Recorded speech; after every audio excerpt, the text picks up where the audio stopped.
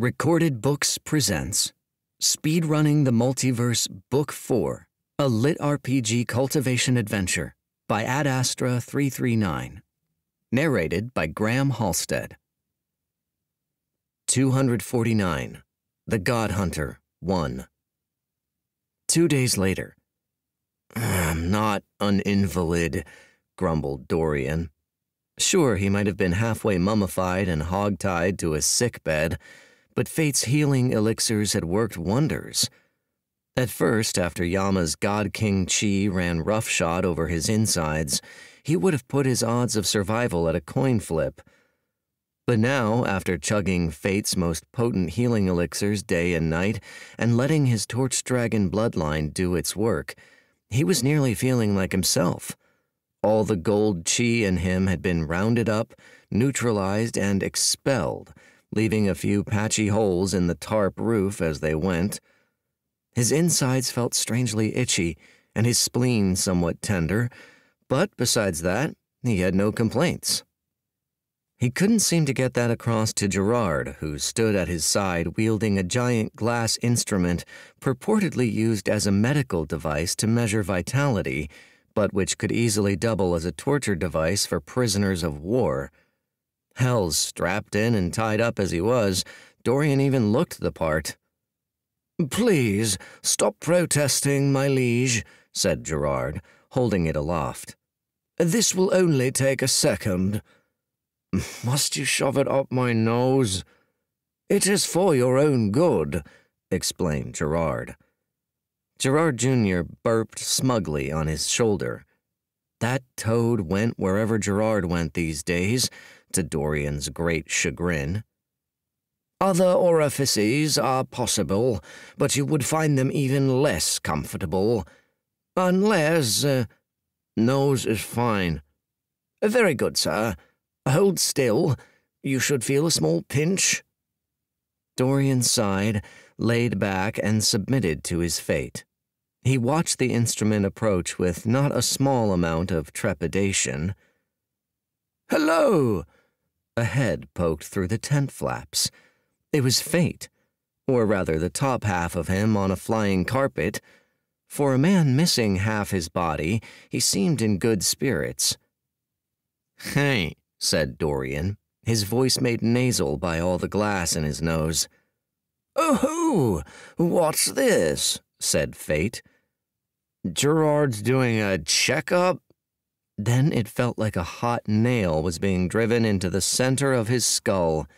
He howled, fists clenching. And done, said Gerard. He checked the readings on the instrument as Dorian keeled over, gasping. Gerard Jr. gurgled in satisfaction. The mean little turd. Oh, is that necessary? Dorian croaked. I've been hit with torture devices less painful. No, not strictly, said Gerard, wiping down his instrument. We could have done a simple nasal swab, but it would have been slightly less precise. In matters of health, we should always seek the best evaluations. Ah, as expected, your levels are perfectly normal. Thanks, hissed Dorian. Of course. It's my pleasure to help, sir said Gerard without a hint of irony. He even gave a little bow. Er, said Fate, unsure. May I come in? Is now a good time? Go on, sighed Dorian. The flying carpet scooted astride inside. Fate wore a conflicted look, which put Dorian instantly on guard. Fate's default expression was beaming. Fate's confliction was anyone else's distraught. I come bearing news. News good and bad. First, the good. I've just had a very pleasant chat with your brother, Dorian. He seems to be in good spirits. Shame. Eh? Apologies. Go on. Ahem. Yes. Uh, the bad news is what he said namely that we appear to be in a bit of a pickle. Jez has found new strength. He's resorted to torturing the god kings under his possession. Fate swallowed. including your brother. Oh, I'm sorry. Dorian was silent for a few seconds. On the one hand, he said at last, it's my brother. Let's be honest, he sort of deserves it. I mean, the man has no sense of humor. On the other, his voice grew tight. Jez, what a fucking ass, eh? Most uncouth of him, said Gerard with a frown. Hu Yi suspects he'll soon resort to killing his prisoners outright. Fate shuddered. That, and he also suspects Jez will launch a ruthless counterattack on Salieris imminently. Friends, we have entered a new stage of this war. Before our enemy had some civility. Now we must take extra care and move extra fast. He tapped his interspatial ring and produced a scroll out of thin air which also means your mission will need to operate on a tighter timeline than we had first agreed on. Eight bodies you must retrieve. I shall portal you within 10,000 li of each body.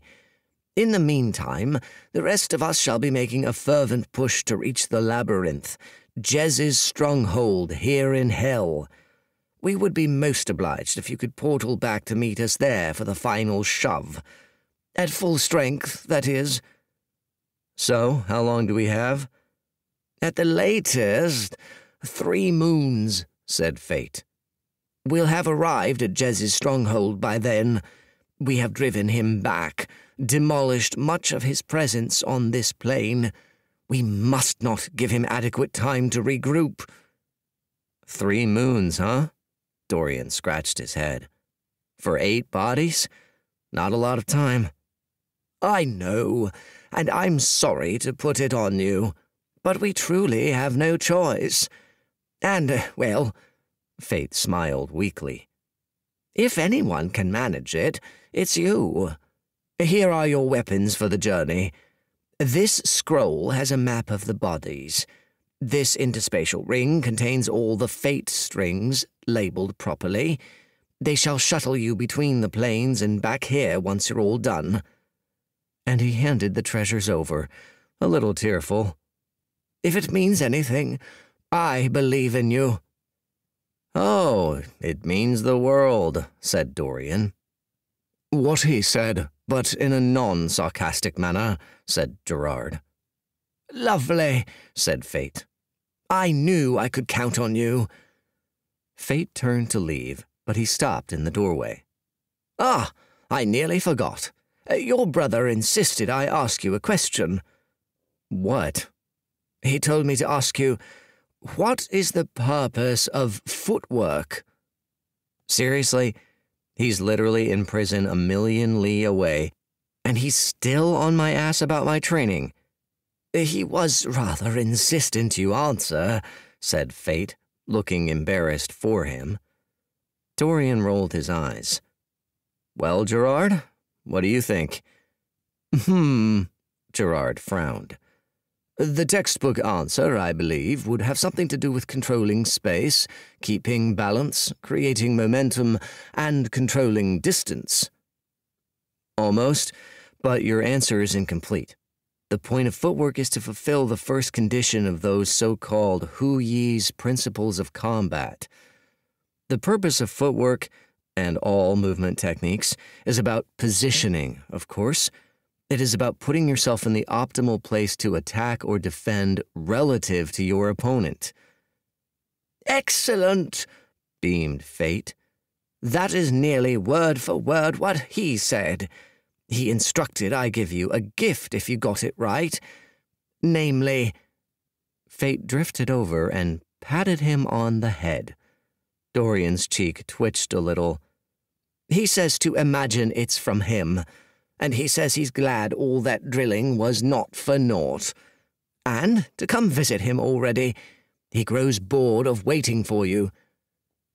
The most annoying part was, Dorian could vividly imagine the bastard's smirking face as he said it. One day later, Dorian was released from the wards the next morning. Gerard had done all the necessary preparations, naturally. All the resources they'd need were on an interspatial ring on his finger. There was another ring he gave to Dorian, which contained the exact same materials, just in case. Always best to be certain. Then they set off to pick up the last member of their party, who'd been missing all this time. Neither of them had heard from her in a week. Where is she? said Dorian. I'm not sure, but I can hazard a guess, said Gerard. They shared a glance and then, as one, started marching toward a thin streak of smoke in the distance. The kitchens. Sure enough, there was a figure on the floor of the mess tent. Oh! They found Sun collapsed on her side, twitching lightly. She'd taken on a vaguely spherical shape. Her stomach had bloated to thrice its normal size, and there were so many sauces smeared on her face, a cluster of orcs were using it to dip their chips. Sun didn't seem to mind. By the look in her eyes, her body was there, but her brain was on some other plane. But she lit up when she saw Dorian and Gerard draw near. Oh, hey, she waved. What happened to you? Said Gerard. Are you quite all right? I don't remember, mumbled Sun. She burped. Let me think. She scrunched her face in. There was a brief silence. Ah, she grinned. Three days ago, I started eating, and then I didn't stop. I was trying to test my limits, I think. I'm still digesting. It was very impressive, commented one of the orcs. She ate a small civilization's worth of food. We orcs have a tradition of giving nicknames to creatures worthy of great respect, said another. We have bestowed upon her the title Creator of Famines. Huzzah! roared the bunch, toasting her. Huzzah! cheered Sun. Sorry to bother, O Creator, but duty awaits. Dorian dragged her unceremoniously to her feet. Gerard offered her a handkerchief, which she wiped her face off with to the orc's loud displeasure. Thanks, said Sun. I think uh, a day or two and I'll be normal. Where to? The Dragon Realm, where all the great dragon bloodlines originated, including my own, and where the great dragon clans still situate their ancestral homes, and where I made a fairly significant mess a few thousand years ago. He winced, recalling the state he'd left the place in. Last I was there, I was told in no uncertain terms never to return. Well, told is a gentle way of putting it. I made, uh, how should I put it, significant impact, I think. It was in my life as Salus God Hunter, and well, let's just say I lived up to the name. Oh no, said Sun, wide eyed. You were naughty. Very. In any case, it's been, what, six, seven millennia since then? Surely they've put it all behind them, rebuilt, and moved on. The residents of Dragon Realm mark their time in two eras, supplied Gerard.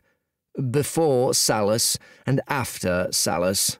This year is 6413 AS, I believe. Ah. Each year, children make sugar sculptures of Salus, which they burn and eat. He paused. There are crueler holidays of a similar ilk, but I will spare you the details, sire. I would not want to hurt you. Dorian nailed him with a long stare. Anyway, a tap of the interspatial ring, and three glowing threads of fate appeared in his palm. Emerald strings, frayed at one end. The other end vanished in thin air. It led to a realm far, far away Let's definitely not mention we are in any way searching for or related to the body of Salus Godhunter. Each of them gave their string a tug, and they were off. 250. The God Hunter, 2. It had been a while since he'd last visited the Dragon Realm, but despite the sour terms on which he'd left, he found himself eager to visit again. No one did grand like the dragons. Their plane was the most mountainous in all the multiverse, and they made the most of it. If you saw a peak, you could bet a dragon had made it its home. Carved deep tunnels into it, tunnels spilling with gold and silver and crystals and elixirs, technique manuals galore. If a dragon valued it or knew it was valuable to anyone else, it stole it. A greedy yet straightforward folk dragons were, and proud as all hells, too. No one preened over their multiversal rankings more. Their whole society was stratified by power, literally the stronger the dragon, the higher on the mountain they made their nest, and the strongest on the mountain was made the mountain lord. Only they got to carve into the mountain itself, and they made the dragons who lived on their peaks pay tribute. Even the peaks were stratified. Lesser lords ruled lower peaks, and on and on. Some peaks got so big they rivaled continents on lesser realms peaks with tens of millennia of mostly bloody history. Their sculptures, Dorian recalled, were astonishing, sometimes so large you could mistake them for mountains themselves. Made sense since dragons were so handy with those big, curved claws, as good at carving up flesh as they were stone. There was no sensation when Dorian yanked on his fate thread. He was one place, and then he was another, as if he hadn't moved, as if he'd been there all along. The dragon realm. He grinned, and the more he looked, the more his grin frayed at the edges. It was not quite as he remembered it. The most obvious difference was the sky. Not that proud orange red, but all gold, slightly pulsing. It marked a realm Jez had fully conquered. And then there were the peaks. Fate had spat them out midair, giving them a broad view of the mountains all about them. But they weren't mountains. They were nine tenths of a mountain.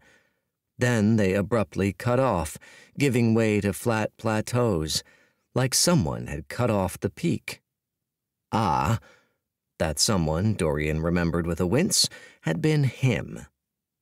Huh, what's up with those mountains? said Sun, perched on Gerard's shoulder. Back when I was Salus, I executed a slash, said Dorian. It was meant to chop the Dragon King's head off. And it did. Only it chopped a lot of other stuff off, too. I may have slightly underestimated my strength. They drifted over a peak. No smoke coming off it. Another oddity. Was its lord not home? Fate said his threads would deposit us on the right plane. Dorian consulted his map. It worked like a blood probe. It drew a radius where it felt his body's aura strongest, and his dot was certainly within that radius. We should be within 10,000 li of the right place. Shall we ask the locals if they've noticed anything irregular of late? Perhaps they will know the precise location, said Gerard. I imagine a God King body dropping from the sky is rather difficult to miss. As they neared the peak, Dorian sensed no aura drifting off it, not within the mountain nor atop it. It appears this peak is empty, said Gerard. If there was a Dragon Lord, they would have come charging out to challenge us by now, I expect. They never did like trespassers. What about that one? Sun pointed to its neighbor. That one was empty too. Weird, said Dorian. Last I recall, these peaks were teeming with dragons. Sir, said Gerard, you left the realm in rather a shambles, as you recall. After the year of your rampage, their population dropped by nearly 30%, mostly males. Well, yes, but it's been millennia.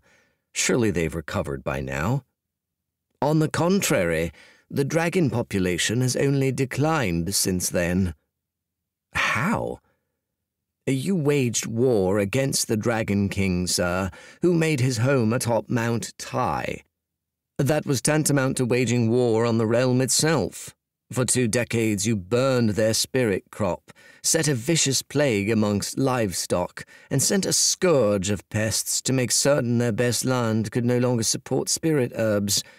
You then scalded and salted the land and trashed the great library of Tai, which held all draconic knowledge of artificing and alchemy until then on their great stone pictographic tablets, incidentally a lost marvel of engineering.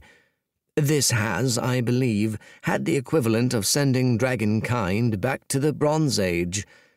And then you set about massacring all who stood in your path, said Gerard. Among them the dragon realm's best and brightest. I did? It sounded rather excessive now he heard it laid out before him. I must confess it's been a while. It's rather hazy in my memory probably because he hadn't thought much about it at all for thousands of years. It is all recorded in great detail in Thaddeus's scintillating volume, The Complete History of the Dragon Realm, Volume 9, The Salus Calamity, which stretches to modern day, incidentally. Ah, yes, those tablets. It was coming back to him in vague chunks. Those were valuable? I broke them because I liked how it sounded. In my defense, they had this satisfying crunch to them, and I was quite drunk. It was in the post war festivities, you see. Gerard did not look particularly impressed. A great number of dragons declared their realm too ruined, or simply fled the realm to avoid your wrath. This begun the great draconic diaspora. All right, all right, we get it sighed Dorian. Long story short, there's a lot fewer dragons here. You were very naughty, commented Sun. She waggled a carrot she was munching at him. They soon happened upon a mountain with smoke curling out the top. A god's aura curled out with it, not even a particularly strong one at that. Why's it so weak? muttered Dorian. In my day, a peak lord was at least at the top of God, usually Empyrean. According to Thaddeus, you plundered most of the dragon's hoards quite thoroughly in your time here, sir, said Gerard. The rest, the most valuable cultivation techniques and treasures and so forth, left with the great draconic diaspora. I should just stop asking questions, shouldn't I? grumbled Dorian. I've a bone to pick with this Thaddeus fellow. He makes it sound like everything wrong with the Dragon Realm is my fault. Is it? said Sun, looking genuinely curious. Well, yes, but it's rather rude of him to point it out. Trespassers! Who goes there? The voice rasped, but it still had that dragon's throaty boom.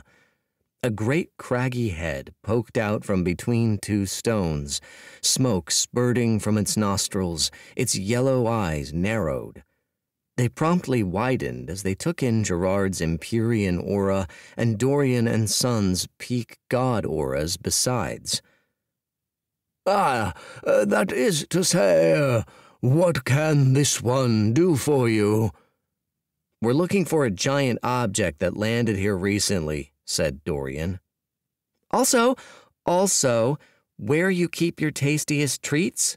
Sun piped in. Shush, child. We'll get to you later. First, giant object. Probably fell out of the sky, has a god king's aura. Have you heard of it? Ah, yes. This one has. It dipped its head. There was quite some scuffling over who claimed possession of it, as this one recalls, but it was above this one's stratum.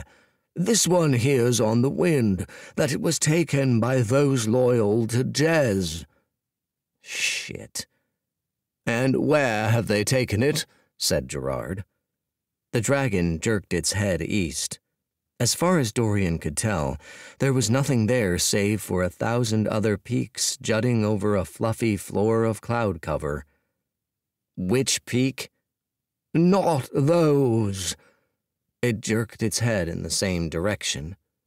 Now that Dorian squinted, he could make out the blurry outline of a peak rising over them all, so far away he wasn't sure if it was real.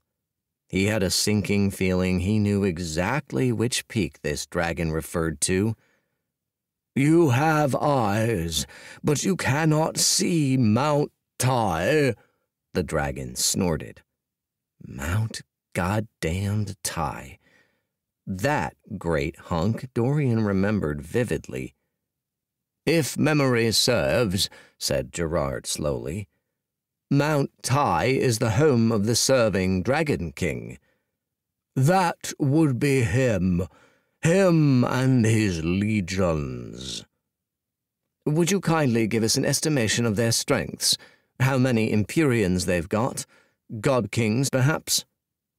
How many more questions must I answer before you leave?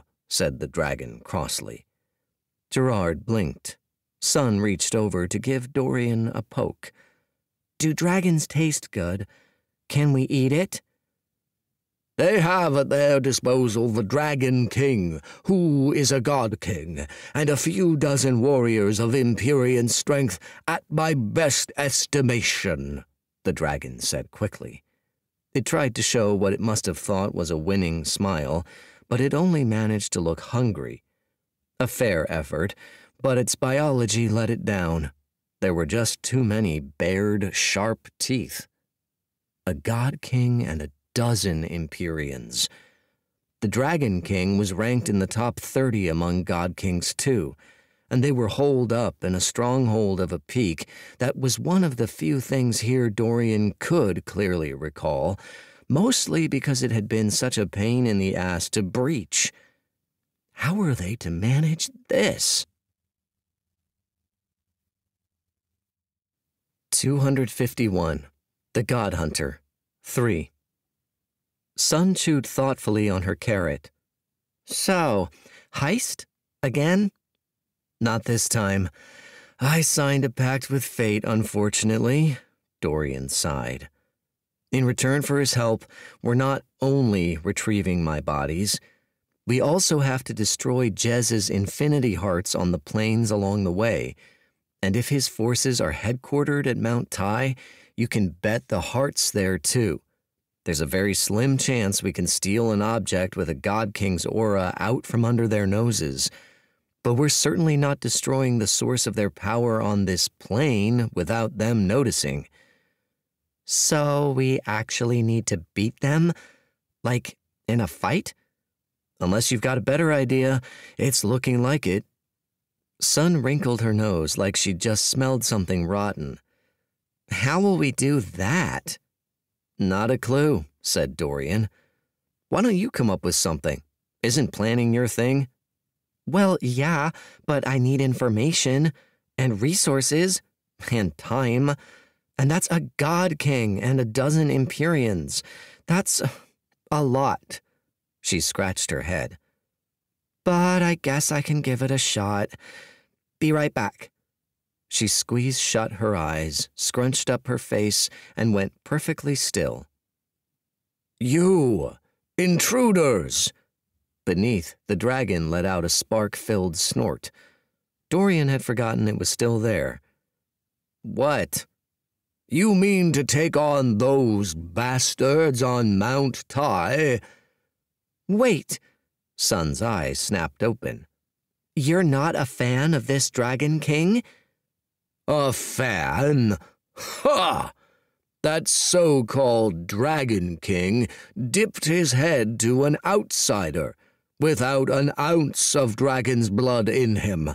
Not regal blood, no common blood, not even Drake. Nothing! The dragon spat out a puff of fiery disgust. No, he's turned his back on the old ways. Not a mote of dragon's pride left in him. He's no king of mine. Imagine that. Dorian whistled. I remember old Snarltooth.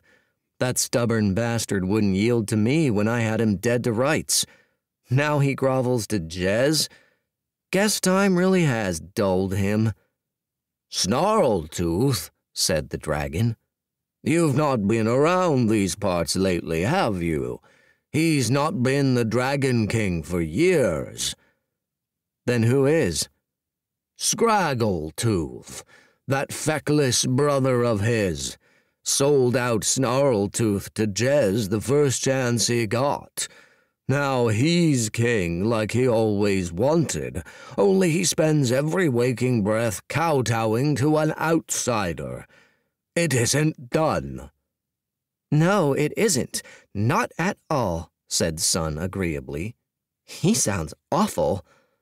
She was cooking something up. Dorian could tell by that cheeky grin slowly spreading across her face. He knew since he wore it all too often. I never did like that Scraggletooth, the dragon declared. He seemed like he had a lot to get off its chest and was happy ranting at pretty much anyone. Always seemed the slimy type. And now he's forcing the rest of us to join that cabal of Jez's and give up our powers to them. And if we refuse, like most any self-respecting dragon has, why, we've got to pay tribute. A tenth of our hoards it's intolerable. It's tyrannical. He gnashed his teeth. You can't even spread your wings these days without Jez's say so. What a buffoon! A scoundrel! A mean man! agreed Sun, pounding her fist. Someone should really do something about that guy. And his goons. Say, he's only got a god king and few dozen Empyreans, you said? That's my guess. What's it to you? How many other dragons are there about, do you think? Ones who might feel the same way you do? What do I look like to you? A fortune teller? The dragon snorted. Quite the snorter, this one, and Dorian could hardly blame it. If Dorian's snorts brought out giant clouds of sparks, he'd snort all the time, too. Do you see a scrying glass lying about? That was the thing with dragons. Their egos not only huge, but also made of rubber. Squash them down for a few minutes, and they'd bounce right back. Just give me a guess. Pretty please, said Sun. The dragon eyed her, then Dorian and Gerard. Gerard quirked a brow, then flared his Empyrean aura. The dragon made the sensible choice. There are a few hundred gods, maybe, out and about, and a dozen or two Empyreans.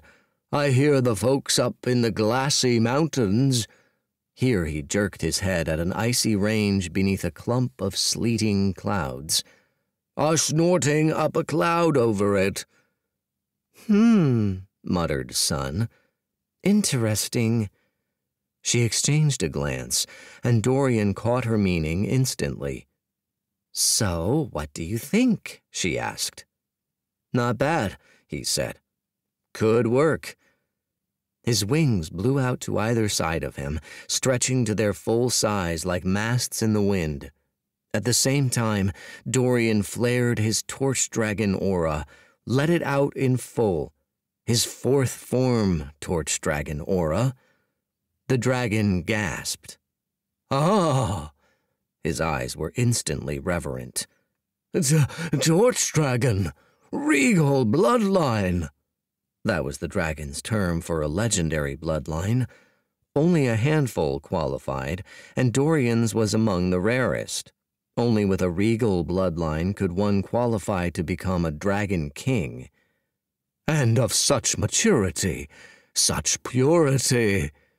He swallowed. This one suspected you were of kindred blood, but this one did not think. This one has eyes but cannot see Mount Tai. Then it beat its head madly against the ground, showering gravel everywhere. Please forgive this one. This one was foolish. This one was blind. No need for that, laughed Dorian. Please rise. I'm not here to punish anyone, or lord myself over anyone for that matter. I'm not Jez. On the contrary, actually.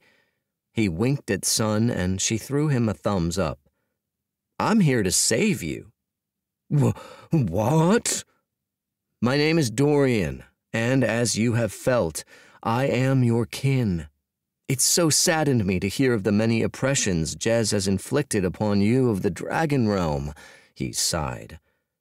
In truth, the realm from which I come, hell, has suffered his attacks too. It's horrible. Horrible, wailed the dragon. But in my realm, we've managed to rout his forces, beat them back, and we are even now marching on his capital. Dorian spread his arms. Now I've come with my companions to liberate this realm too. You have? And he thrust out Fate's map. This was given to me by Old Man Fate himself, the leader of the multiversal resistance. He shook it out and held it up for all to see. Motes of fate's laws, green and soft, swirled gently above it like drifting snowflakes. Ah, croaked the dragon. It was on his mandate that I came here. Now he had this dragon hooked. His mouth hung wide open, leaking trickles of smoke out the edges. It was time to reel him in. Like a god descending to grace mortal soil, Dorian flew down. Gently did it. He gave the dragon ample time to soak in the majestic sight, his majestic aura, his majestic smile, even. And then he reached out a finger and pointed it straight at the dragon's head like it was being specially chosen. The awestruck dragon ate it up. It was dribbling a little slobber as he drew near. What is your name? boomed Dorian. This one is called Greenscale, cried the dragon. Greenscale, green scale, said Dorian, like he was some judge weighing the syllables. He nodded as though he found them worthy. He flared his bloodline, and the dragon nearly keeled over. This close, it must have felt overwhelming. Will you join us on our quest to liberate this realm from Jez's tyrannical rule? And also find a delicious treat for Sun, Sun added, her voice a little squeak in the wind. That part's important too. Yes, cried Greenscale. His eyes were watery. Then welcome, Brother Greenscale, to the Resistance, said Dorian. He swept his arm out in one grand gesture. We shall sweep across to the glassy mountains. Where were the darn things again? Gerard gently moved his arm to point at the correct mountain range. Ah, yes. Icy peaks, sleety clouds. To the glassy mountains, Dorian continued unperturbed. And then to its neighbors, and their neighbors, gathering strength along the way gathering all those true dragons who would never bow their heads. And then, our warriors in tow, we shall march on Mount Tai itself and liberate this realm for good. We shall show that Jez bastard that he can never keep down a dragon's fighting spirit. It had been a while since Dorian had played the maniacal cult leader. That speech was pretty rusty. Still, it was only a first draft and he figured he'd have many a chance to revise it as they went about drumming up a force. Rough as it was, it still seemed to move Greenscale. The dragon trembled.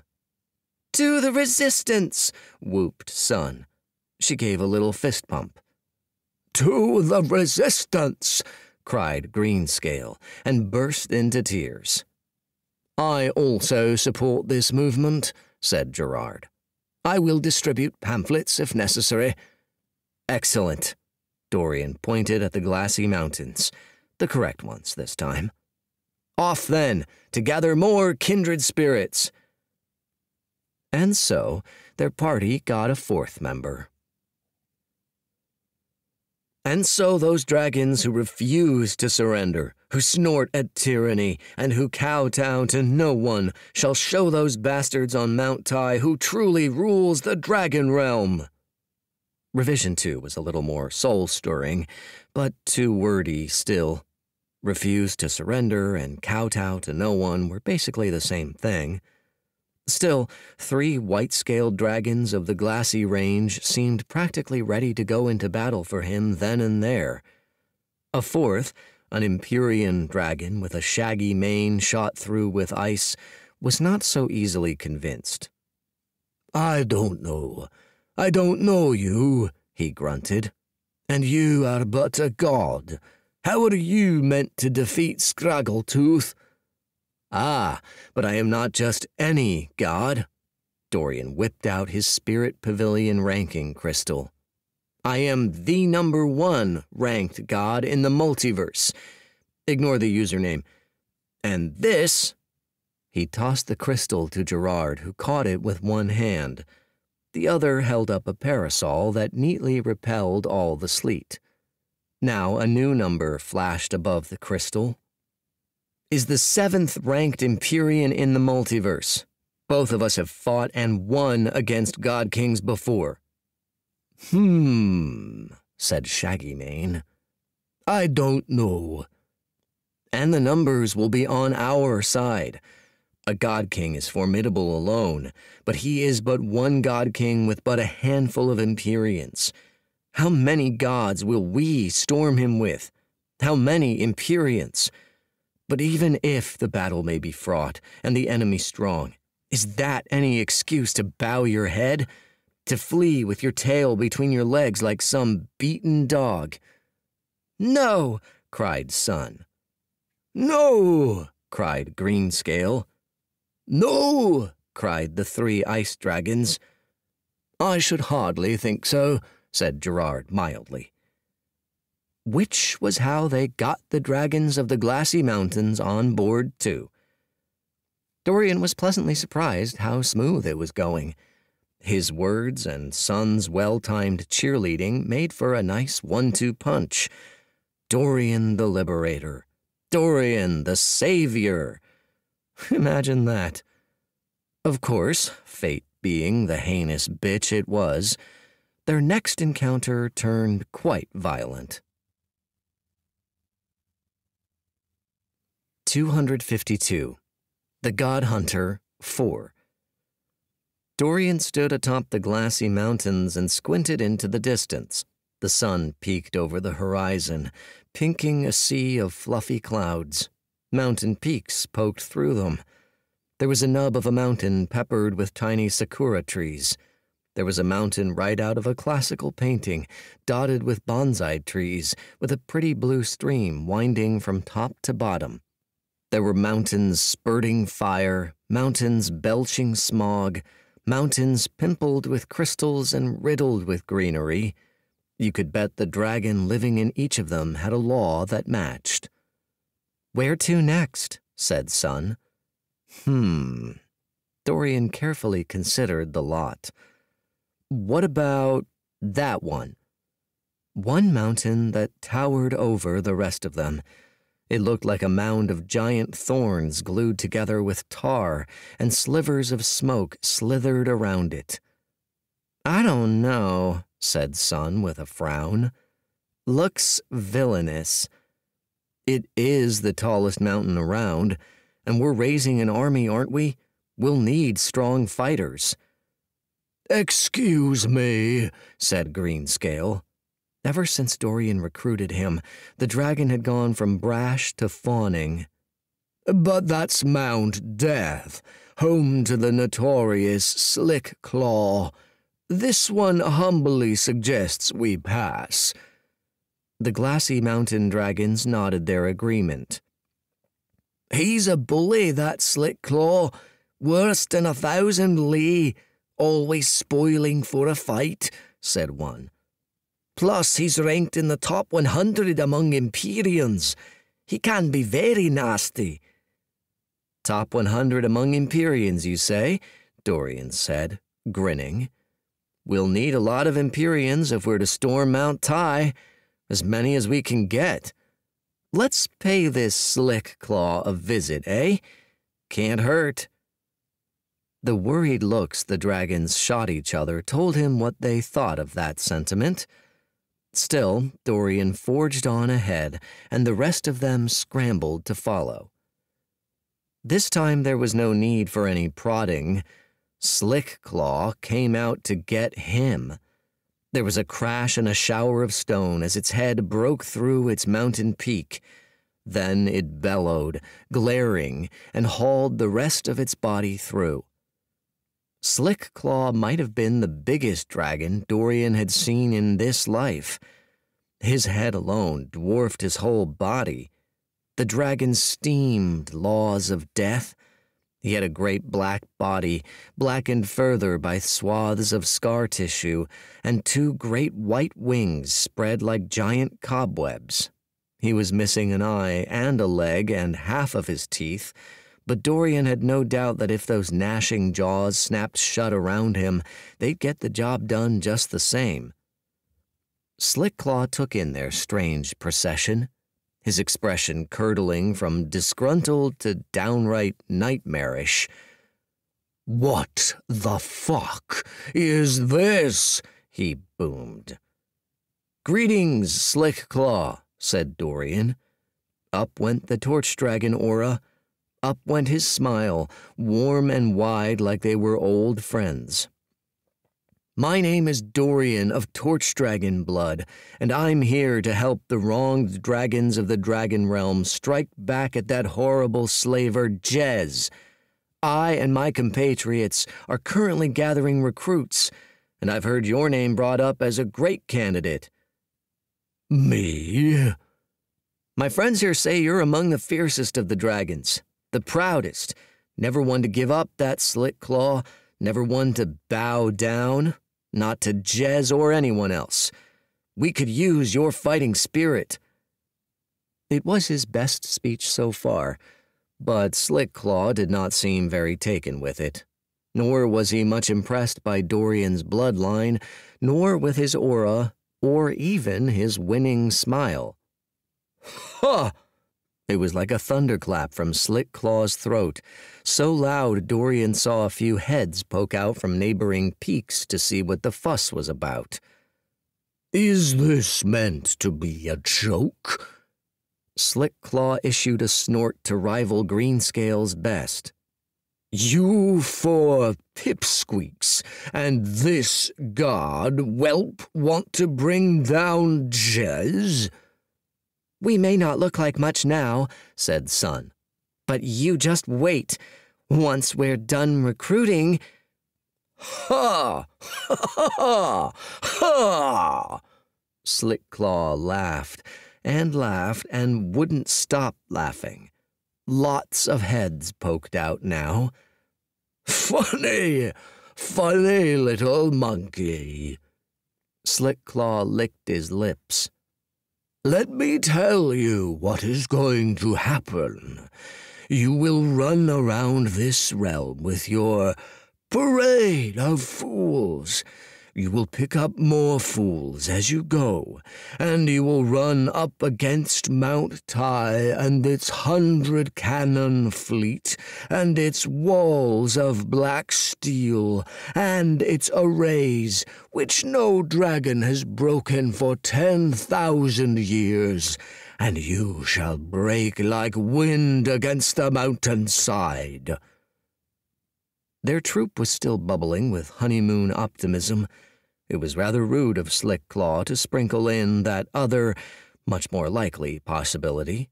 And now Greenscale and the others shuffled uncomfortably behind him. That was the trouble with crowds. They were easily swayed one way, but the same went for the other way, too.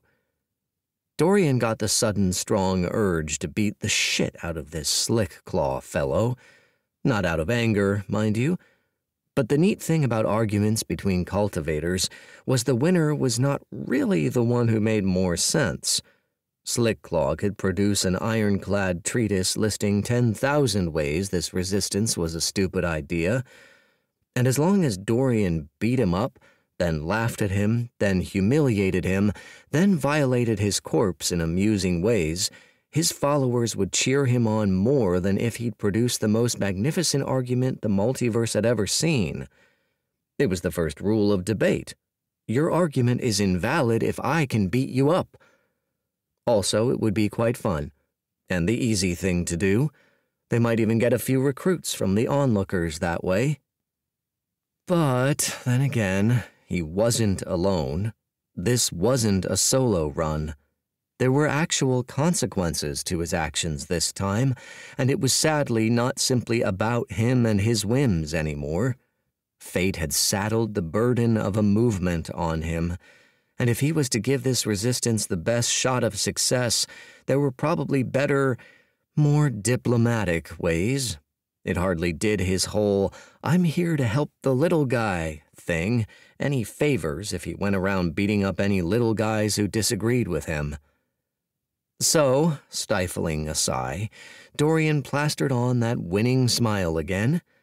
Or a smile, at any rate it appeared to be winning very little from Slick Claw. I understand your scorn, Slick Claw, he said.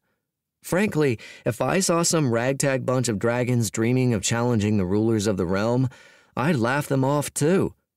Our cause may be just, but what's the point if none of us can make it a reality? Slickclaw considered him with a lazy eye.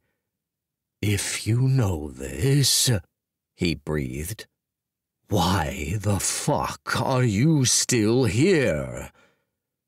Because we may be more than meets the eye, said Dorian simply. He said it as much to the dragon before him as the dozen dragons that were drawing closer and closer, curious who this impetuous little fellow was who dared to challenge Slick Claw. Step one, establish credibility. For instance, he tossed his ranking crystal to Gerard, who caught it with a flick of the wrist, and with the same hand displayed his Empyrean ranking. A few gasps from those nearby. It wasn't every day, or every year, or even every century you came face to face with a top ranking Empyrean. This is Gerard, said Dorian. Slickclaw pulled back hissing and narrowing his eye like it had just been struck by a light that was a little too bright. Ranked seventh among Empyreans in this multiverse, and he is my servant. Greetings, said Gerard, waving. You may be wondering, why is it that Gerard, a creature of such a caliber, is a servant to me, a mere god? Gerard tossed back the crystal, and Dorian caught it with an open palm let its number one ranking show for all to see. Because I am Dorian, the first ranked god in this multiverse. We alone can challenge that coward of a dragon king. But we will not be alone. We will have at our sides all those brave dragons, true of heart, who are sick of bowing their heads to that tyrant up in Tai. Hear, hear, said Sun. A few murmurs echoed her. Who are sick of being forced to give up a tenth of their hoards, a full tenth to that scoundrel. More murmurs of agreement. Who are sick of living under a golden sky. An outsider has already come to the dragon realm once. His name was Salus Godhunter, and it was due to him that you live in mountains with no peak. Angry murmurs. Now a second outsider has come, thinking the Dragon Realm is easy pickings. Will you let Jez do the same once more? Friends, I can tell you the Torch Dragon ancestor would have never put up with such a thing, nor the venerable ancestors of any of your bloodlines. He was riffing now, not really sure what he was saying, but he could tell the crowd was into it. And where are they now? asked Slick Claw, shaken but still defiant. Dead, slain by Salus. Dead fighting for what they believed in, fighting with the true spirit of the dragon. You can wound our flesh, but you can never put out the fires in our hearts. That's right, cried Sun. He even got a few shouts at that. I. You're one to talk. Aren't you uh, an outsider, too? spluttered Slickclaw. I'm a descendant of those true dragons, just as you. In fact, of purer blood than you, friend Slickclaw. And you are right. I am a product of the great draconic diaspora, just as so many of us dragons in the multiverse are. A diaspora he'd learned about ten minutes ago, incidentally, but he spoke teary eyed and wobbly voiced like it was something as dear to his heart as family. Do you know what they say out there in the multiverse? They say that the great age of the dragon is past. They say that the dragon realm is but a husk, doomed to be a plaything for foreigners' whims. Snorts, cries, gnashing of teeth. But I have returned because I do not believe that. I believe that the dragon realm can rise again, that the spirit of our proud ancestors yet remains in our blood that all it takes is for those who still believe in the might of the dragon to rise again as one and seize back what was once ours. To the dragon realm, cried Sun, shaking a tiny fist. To the dragon realm, went the roars. Dorian wagered they'd just gotten at least a half dozen sign-ups in one fell swoop he gave himself a mental pat on the back. With how he was speaking, he nearly convinced himself he was out to do some good for the realm. Slickclaw could only gape, leaking smoke like a chimney whose fire had almost gone out. This. You. He swallowed. You've got pretty words, little dragonoid. I shall give you that. But words are all they are. I have yet to see any evidence you can back them up. You may have tricked all these fools with that crystal tossing of yours, but for all we know, that crystal was a counterfeit. Perhaps. But a fourth form regal bloodline is harder to counterfeit, wouldn't you say? Said Dorian. But I take your meaning. You wish to see evidence. Shall we make a bet then, friend Slickclaw? Name it. I hear you are an Empyrean ranked in the top 100 in the multiverse. Are you not? said Dorian. I am but a god, as you say. Give me your strongest strike. I will put up no defense to it. Not a shield, not a technique, nothing. If I can receive it, you'll join our cause. If not, well, naturally, I'll be forced to stop bothering you on account of my being dead. What do you say? And Dorian knew he had him. 253. The God Hunter, 5. What is this? snapped Slickclaw. You would mock me, little dragonoid? Not at all. Dorian smiled like the Buddha himself. He spread his arms. Go on, have at it. Slick Claw stared at him for a few heartbeats, and Dorian got the sense the dragon was trying to decide whether Dorian had something up his sleeve, or if he was simply an idiot. Then Slick Claw breathed out a cloud of smoke, lips curling to a nasty grin, and it was evident which of the two he landed on. Very well, said Slickclaw, voice soft as a snake's hiss. I will play this little game of yours. He raised that cobweb wing of his, and its bony white edges boiled over with black laws of death. Dorian politely let it rise to a frothing peak. He even stuck out his neck as the wing screamed down like an executioner's blade. There was a savage gleam in Slickclaw's eyes. The dragon wouldn't be satisfied with half measures, a head left hanging by its gristles. No, he was swinging to shoot Dorian's head into the sun. Heavenly annihilation! Wing of frenzied death! screamed Slickclaw. There was a clang, shocking crackling, a wash of hot air, and air electric with charged chi. The spectators shielded their eyes, coughed, and turned away. Someone cried out. But then it was done, and everyone's eyes turned back, wide and shocked, to find Dorian's neck without a blemish. It was Slickclaw who cradled his wing, tears prickling at his massive eye. Fuck! he roared. Dorian got the sense it was either that or whimpering. Well, that's that, everyone. Dorian held out a hand. Welcome to the resistance, Brother Slickclaw. Slickclaw's face twisted. This, uh, that, I. No, no, I do not accept this. You've tricked me. How so? You made it appear as if. as if.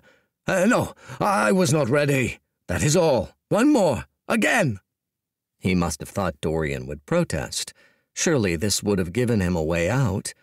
But of course, Dorian didn't. He tapped at his lip, pretended to think, and shrugged. Please, be my guest. It was hard for a tar black dragon to look pale, but Slickclaw managed it. He licked his teeth, flexed his wing, shuffled his weight on either leg, did a whole lot of squinting, working himself up to the task, trying to fan up some courage, maybe. He took so long he attracted a few boos from the dragons gathered about. Then his teeth gritted, and that was that. Another wing clanged down on Dorian's neck. This time, Slickclaw couldn't suppress a howl, then a most undragon like whimper. Again, here was a crossroads. It would be so easy to stomp this slick claw into the dirt. So natural, and the dragon was in position for it too, head bent over, neck curved in perfect stomping position. Dorian's foot got an itch just thinking about it. But that was no way to make friends. And friends, Dorian begrudgingly admitted, were valuable. Actually, Brother Slickclaw, I must commend you. Out of the corner of his eye, he saw Sun give him a thumbs up. Truthfully, those were some formidable strikes. Very few Empyreans, and certainly no gods, could have taken them as I have. But I have taken the blows of god kings on these wings. It would have seemed an outlandish claim before that little demonstration. Now the crowd nodded along. Rest assured, friends, I can take the blows of that fake King Scraggletooth, too. Now, Brother Slickclaw, what do you say? We could use those wings of yours. Slickclaw tongued his teeth, hesitant. You are strong, Dragonoid, he admitted. That I will give you. He looked like he needed just a little pushing. That dragon guy made you pay 10% of your hoard, didn't he? shouted Sun. Think of all the gold he's got stuffed up there, all the treasures, and also all the delicious treats. Go with us. Think about it. If we take Mount Tai, all that's ours. It took a few breaths of gnashing and sucking and squinting for Slickclaw to come around to it. But when he did, a slow, rather evil looking smile crept across his face. Very well, then, Dragonoid Dorian, he said. I will play this little game of yours. To the resistance! cried Sun. To the resistance! Roared everyone else. Sun cackled. She slapped one of the glassy dragons on the leg. They had a little back and forth, and the dragon snorted and slapped her back, which promptly sent her flying head over heels into a face plant. She bounced up, grinning through a face full of mud, and struck a pose, drawing a circle of laughs. Everywhere she went, she had a way with creatures. She got them, somehow, knew just what to say to tickle them, to rouse them, to cheer them up, to get them on her side.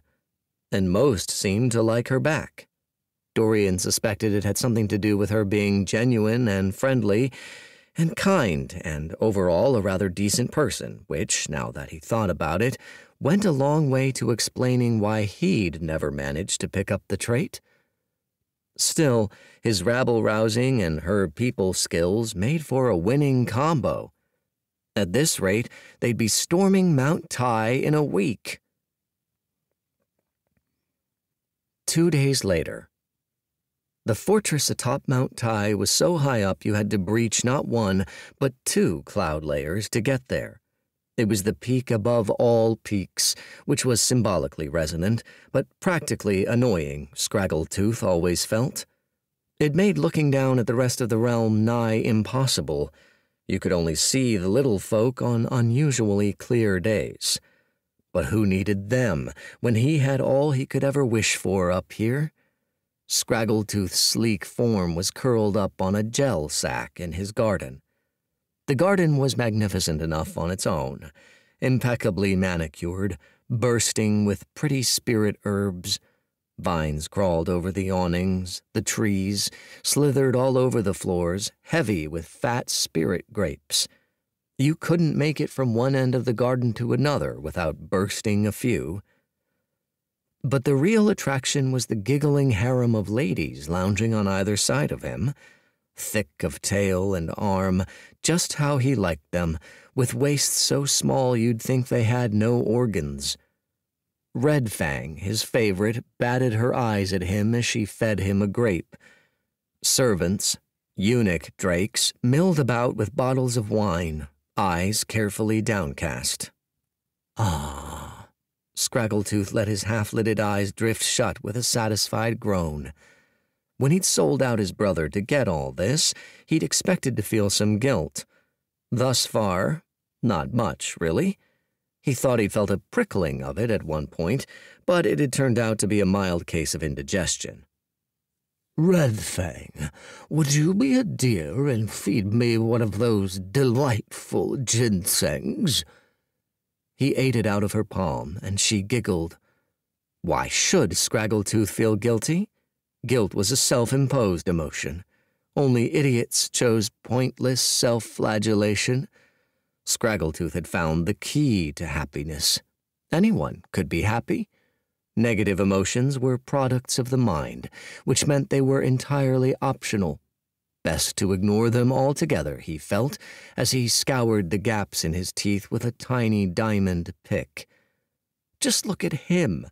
There wasn't a thing about his life he'd change. He could float in this blissful comfort forever. One eye cracked open and glared at the sky. Oh, bother. What is it? said Red Fang. Trouble, sighed Scraggletooth. One of his lieutenant's shadows fell across his face, the sole blemish in his perfect blue sky.